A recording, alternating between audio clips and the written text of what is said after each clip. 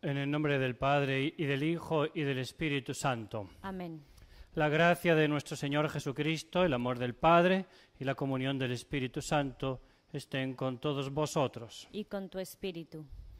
Iniciamos esta celebración eucarística hoy primer día del mes de julio, además jueves eucarístico. Nos reunimos en torno al altar. Nos unimos espiritualmente a las intenciones del Santo Padre, concretamente hoy que en la Basílica de San Pedro ha tenido un encuentro ecuménico de oración con los representantes de diferentes iglesias en el Líbano, un país vecino que, hace frontera con Israel. Presentamos y colocamos sobre el altar todas y cada una de vuestras intenciones.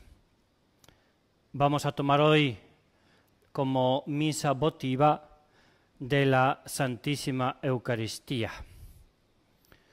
Para poder participar con fruto de esta celebración, reconozcamos nuestros pecados.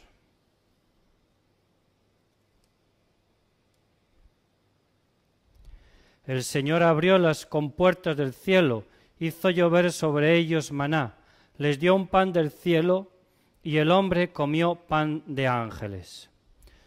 Yo confieso ante Dios Todopoderoso y ante vosotros, hermanos, que he pecado mucho de pensamiento, palabra, obra y omisión, por mi culpa, por mi culpa, por mi gran culpa. Por eso ruego a Santa María, siempre Virgen, a los ángeles, a los santos y a vosotros, hermanos, que intercedáis por mí ante Dios nuestro Señor. Dios Todopoderoso tenga misericordia de nosotros, perdone nuestros pecados y nos lleve a la vida eterna. Amén. Señor, ten piedad. Señor, ten piedad. Cristo, ten piedad. Cristo, ten piedad. Señor, ten piedad. Señor, ten piedad. Oremos.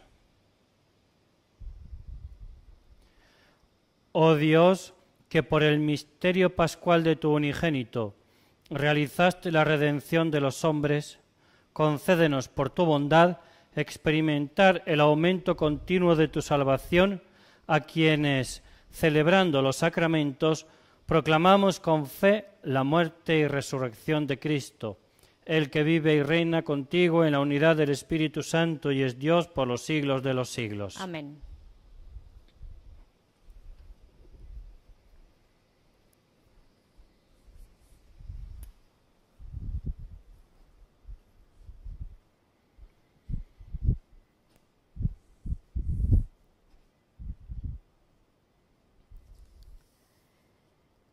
Lectura del libro del Génesis. En aquellos días Dios puso a prueba a Abraham llamándole. Abraham, él respondió, aquí me tienes. Dios le dijo, toma tu hijo único, al que quieres, a Isaac, y vete al, al, país de Moria, y ofrécemelo ahí en sacrificio en uno de los montes que yo te indicaré. Abraham madrugó aparejó el asno y se llevó consigo a dos criados y a su hijo Isaac.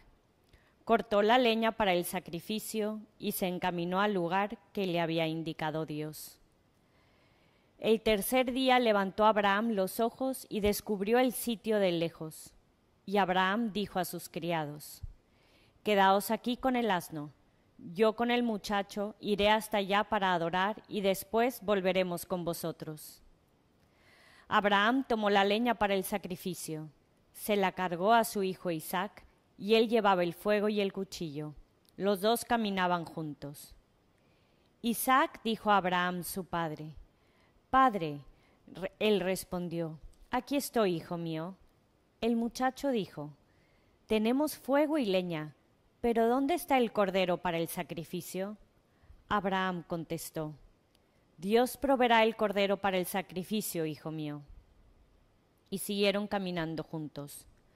Cuando llegaron al sitio que le había dicho Dios, Abraham levantó ahí el altar y apiló la leña. Luego ató a su hijo Isaac y lo puso sobre el altar encima de la leña. Entonces Abraham tomó el cuchillo para degollar a su hijo.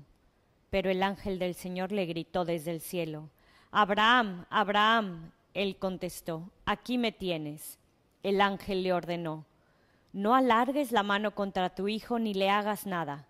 Ahora sé que temes a Dios porque no te has reservado a tu hijo, tu único hijo. Abraham levantó los ojos y vio un carnero enredado por los cuernos en la maleza. Se acercó, tomó el carnero y lo ofreció en sacrificio en lugar de su hijo. Abraham llamó a aquel sitio el Señor ve, porque lo que por lo que se dice aún hoy, el monte del Señor ve. El ángel del Señor volvió a gritar a Abraham desde el cielo, Juro por mí mismo, oráculo del Señor, por haber hecho esto, por no haberte reservado tu Hijo único, te bendeciré, te multiplicaré a tus descendientes como las estrellas del cielo y como la arena de la playa. Tus descendientes conquistarán las puertas de las ciudades enemigas. Todos los pueblos del mundo se bendecirán con tu, con tu descendencia porque me has obedecido.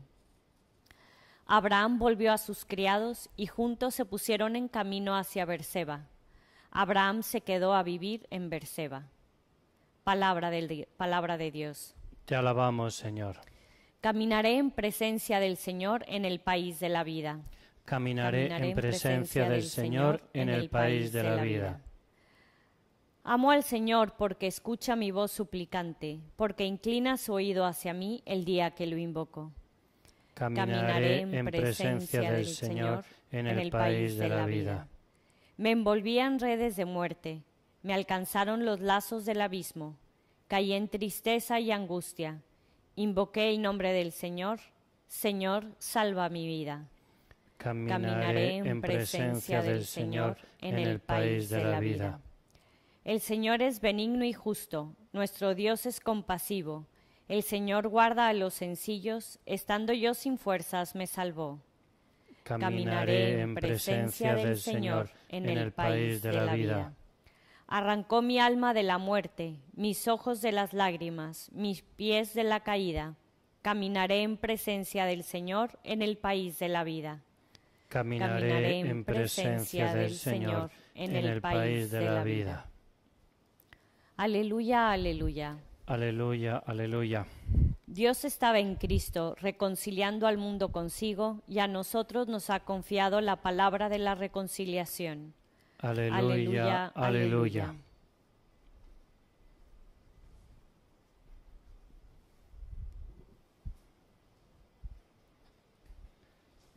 El Señor esté con vosotros. Y con tu espíritu.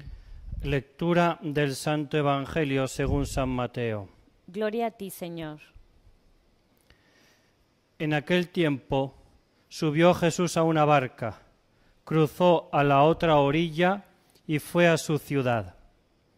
Le presentaron un paralítico acostado en una camilla.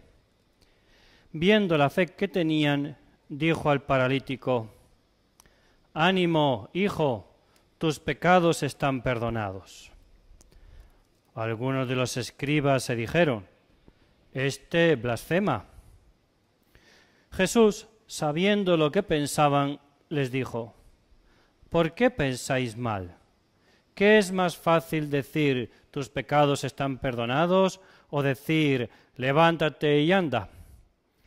Pues para que veáis que el Hijo del Hombre tiene potestad en la tierra para perdonar pecados, dijo dirigiéndose al paralítico, ponte en pie, coge tu camilla y vete a tu casa. Se puso en pie y se fue a su casa. Al ver esto, la gente quedó sobrecogida y alababa a Dios que da a los hombres tal potestad. Palabra del Señor. Gloria a ti, Señor Jesús.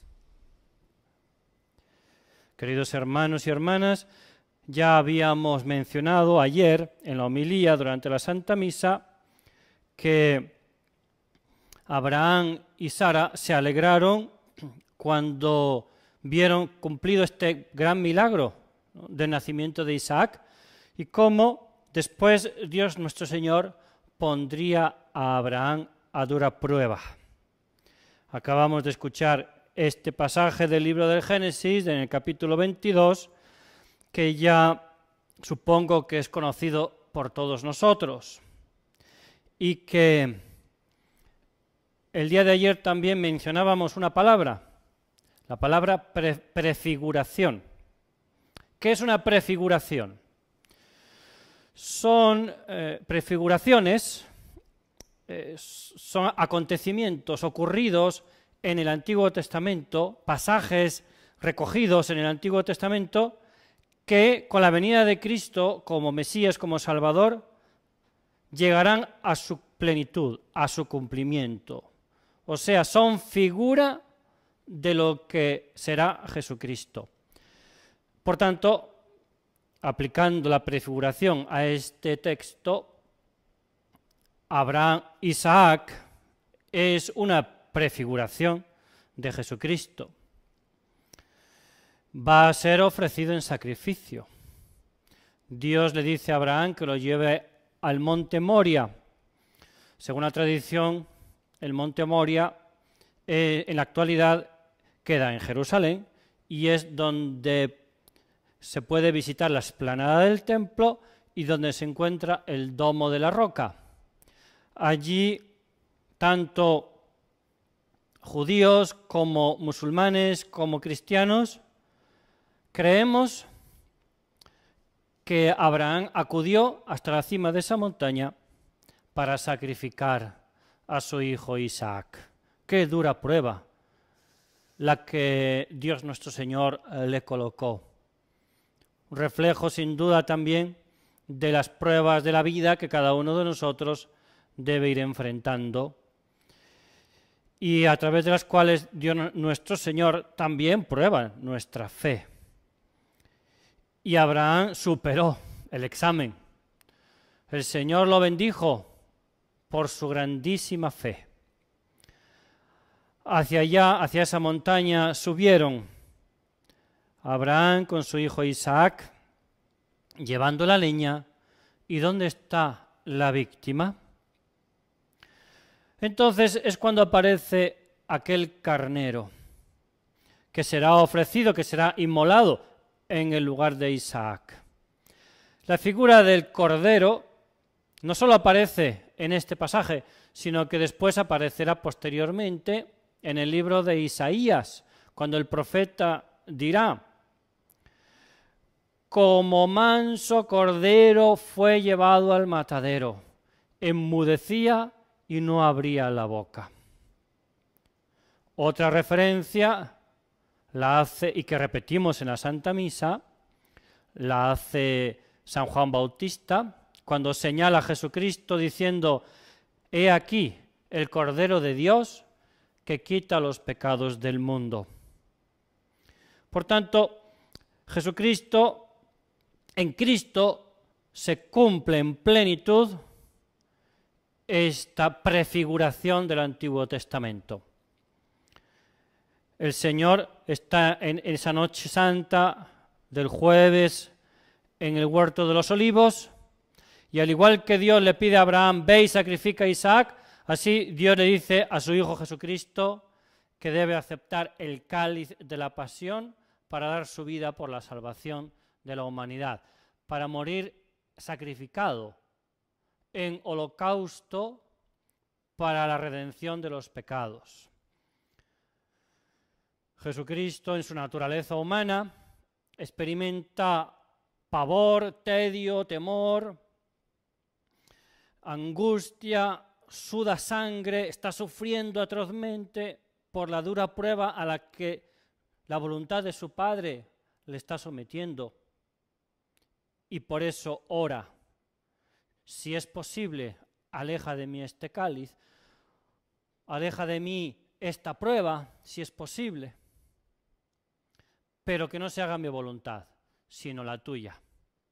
Jesucristo acepta, acoge la voluntad del Padre y después de enfrentar dos duros juicios injustos, tanto el juicio religioso como el juicio civil, siendo condenado a muerte injustamente, por tanto inocente, pero acepta para la redención de todos y cada uno de nosotros y he llevado a la montaña. Ya no es el monte Moria, como decíamos días atrás, sino el monte Calvario. Y ahora no hay ángel que venga a detener esa, esa mano asesina, esa mano cruel de cada uno de nosotros, que somos los que con nuestros pecados hemos colocado a Jesucristo, a Dios nuestro Señor, en la cruz, donde Él ha sido inmolado para nuestra salvación. Y ahí Jesucristo muere como el Cordero de Dios, que quita los pecados del mundo. Por eso, queridos hermanos, qué mejor contexto que la Santa Eucaristía, donde una vez más Jesucristo se inmola, se ofrece por cada uno de nosotros para meditar en este pasaje. Y así como el día de ayer os invitaba a leer la historia de Agar y su hijo Ismael a la luz del Salmo responsorial, si la afligida invoca al Señor, Él lo escucha, así también podemos meditar esta historia, esta narración del sacrificio de Isaac a la luz del Salmo 114. Abraham puede decir, caminaré en presencia del Señor en el país de la vida. Amo al Señor porque escucha mi voz suplicante, porque inclina su oído hacia mí el día que lo invoco. Una referencia también rápida y veloz al Evangelio que acabamos de proclamar. ¿Os acordáis que ayer nos hemos quedado del otro lado del lago de Galilea y señalo hacia allá porque literalmente el lago de Galilea está de, esa parte. Bien, Jesucristo está del otro lado, lo que actualmente se conoce como Cursi, con la K, eh, el pueblo de los Gerasenos, donde han liberado a un hombre que estaba poseído por muchos demonios. En este Evangelio nos, nos narra cómo el Señor de nuevo cruza el lago, o sea, regresa y se, dirige, aunque aquí no lo menciona, pero probablemente se dirige a Cafarnaún, donde los habitantes de la ciudad, del poblado, van a presenciar de nuevo otro prodigio, la sanación de un paralítico. Sin embargo, Jesucristo realiza este signo externo para transmitirnos un mensaje mucho más elevado y principal.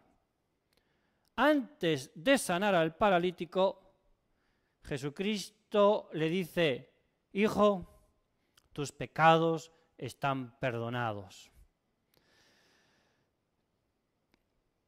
El mensaje del Evangelio debería estar claro, nos cuesta muchas veces asimilarlo, pero la, verdadera parálisis es la causada por el pecado. La verdadera pandemia, la verdadera peste, la verdadera enfermedad, la verdadera catástrofe es la causada por el pecado. Y por eso Jesucristo, como el Cordero de Dios, es inmolado para poder así liberarnos de nuestros pecados. Queremos sanar, sanar de esa parálisis del pecado. Es el momento de hacer un examen de conciencia. Con serenidad, por supuesto, con paz, pero con sinceridad, con humildad. Y después dirigirnos a Jesucristo para que nos limpie, para que nos sane, para que con su sangre derramada de la cruz, su preciosísima sangre que lava, que sana las heridas de la humanidad y de cada uno de nosotros, purificándonos de nuestros pecados. Os invito, queridos hermanos, a continuar participando con actitud de oración en esta celebración eucarística, pidiéndole esta gracia al Señor. Que así sea. Así sea.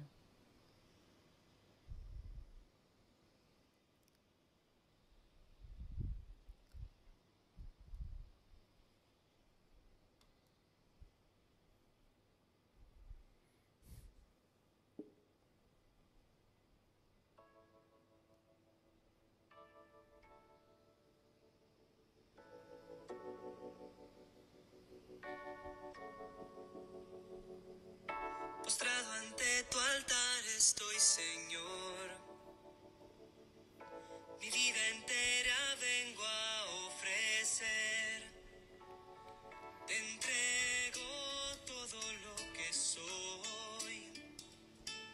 Quiero acercarme a tu sagrado corazón.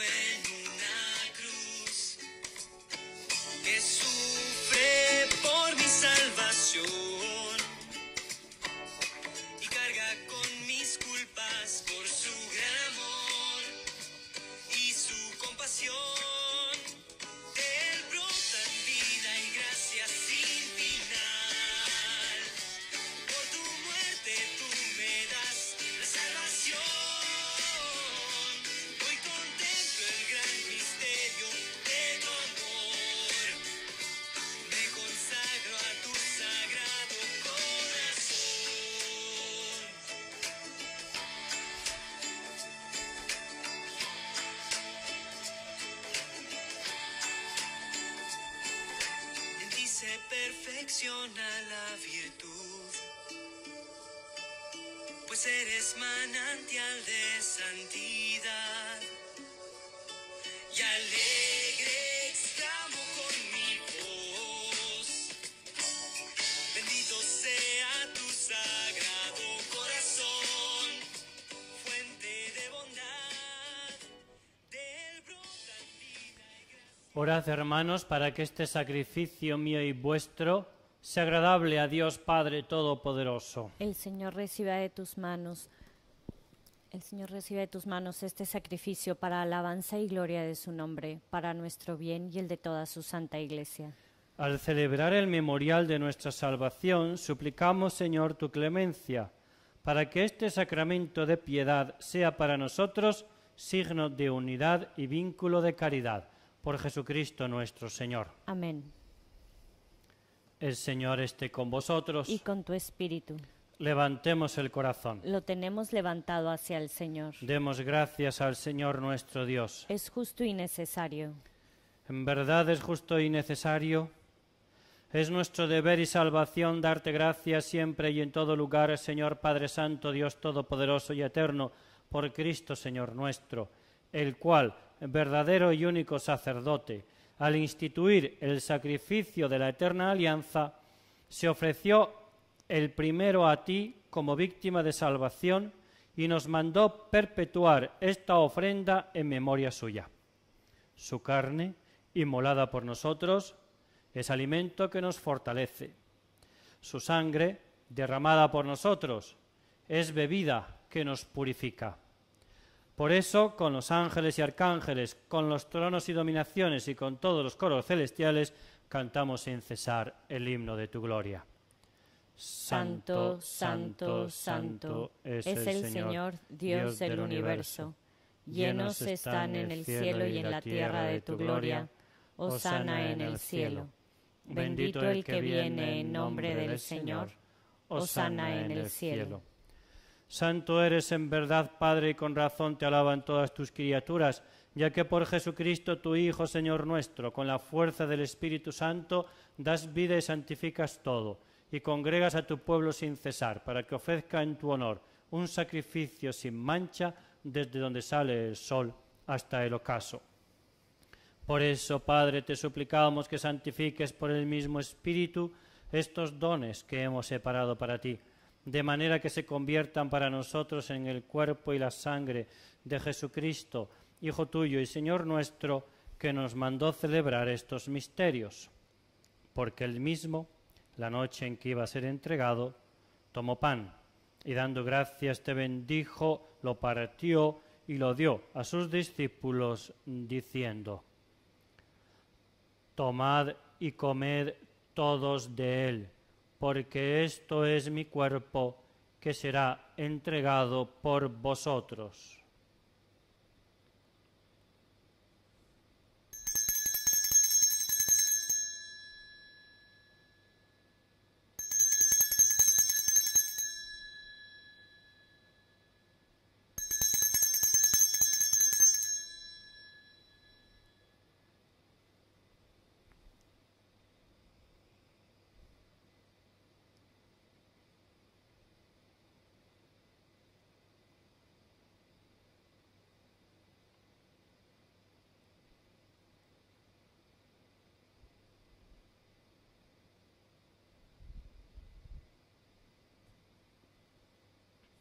Del mismo modo, acabada la cena, tomó el cáliz, dando gracias te bendijo y lo pasó a sus discípulos, diciendo, Tomad y bebed todos de él, porque este es el cáliz de mi sangre, sangre de la alianza nueva y eterna, que será derramada por vosotros y por muchos para el perdón de los pecados.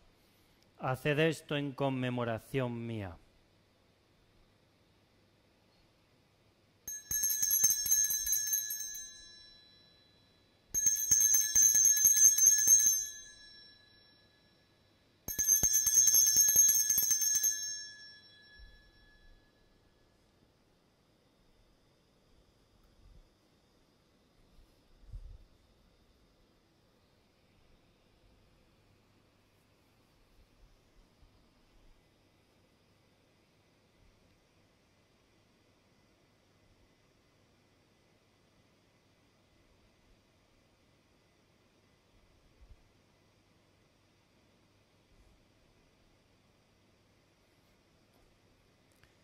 Este es el sacramento de nuestra fe. Anunciamos tu muerte, proclamamos tu resurrección. Ven, Señor Jesús. Así pues, Padre, al celebrar ahora el memorial de la pasión salvadora de tu Hijo, de su admirable resurrección y ascensión al cielo, mientras esperamos su venida gloriosa, te ofrecemos en esta acción de gracias el sacrificio vivo y santo. Dirige tu mirada sobre la ofrenda de tu Iglesia, y reconoce en ella la víctima por cuya inmolación quisiste devolvernos tu amistad, para que fortalecidos con el cuerpo y la sangre de tu Hijo y llenos de su Espíritu Santo, formemos en Cristo un solo cuerpo y un solo espíritu.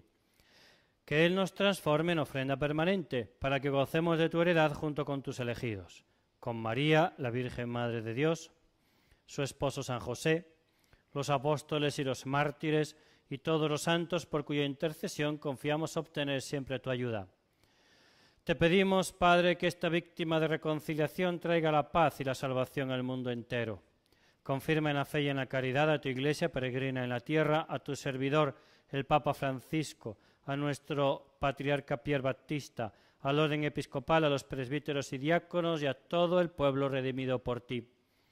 Atiende los deseos y súplicas de esta familia que has congregado en tu presencia.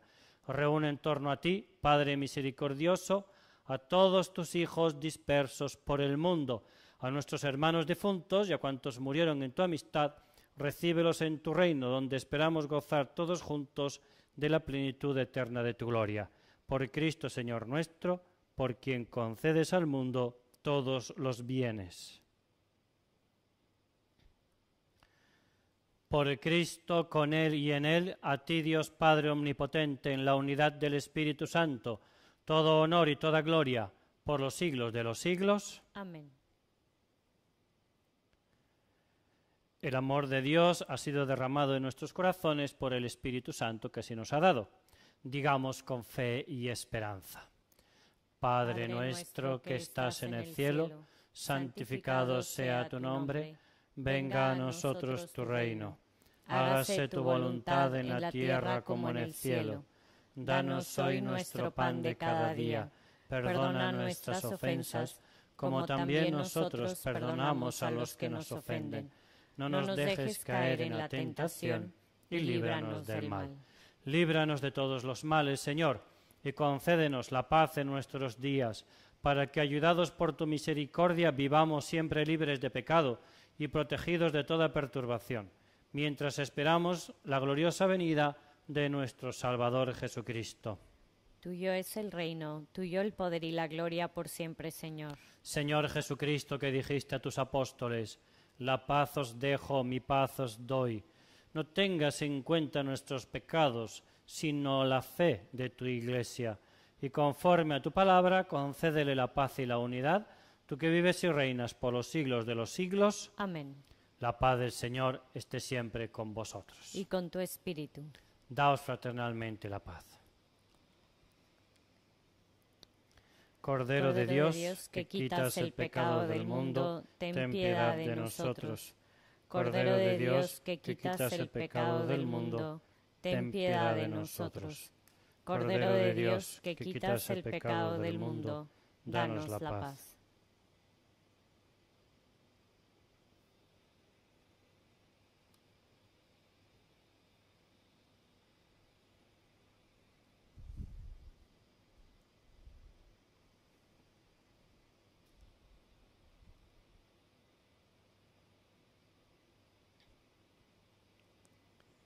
Este es el Cordero de Dios que quita el pecado del mundo. Dichosos los invitados a la cena del Señor. Señor, no, soy digno, de, que entres en mi casa, pero, pero una palabra tuya bastará para sanarme.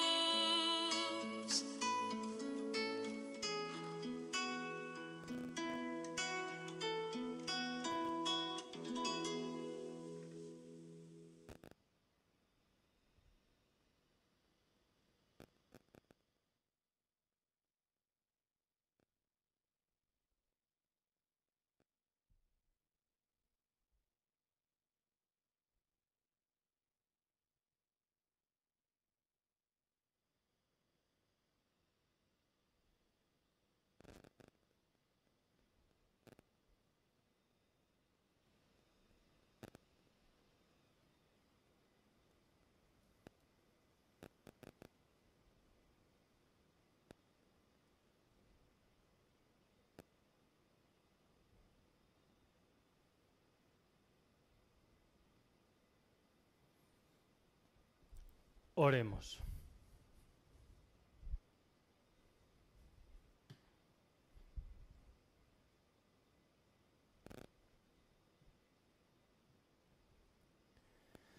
Te rogamos, Señor, que la participación en la mesa celestial nos santifique, para que por el cuerpo y la sangre de Cristo se afiance la unión de todos los hermanos. Por Jesucristo nuestro Señor. Nos dirigimos a la intercesión del patriarca San José. Salve, custodio del Redentor y esposo de la Virgen María. A ti Dios confió a su Hijo. En ti María depositó su confianza. Contigo Cristo se forjó como hombre. Oh bienaventurado José, muéstrate Padre también a nosotros y guíanos en el camino de la vida. Concédenos gracia, misericordia y valentía y defiéndenos de todo mal.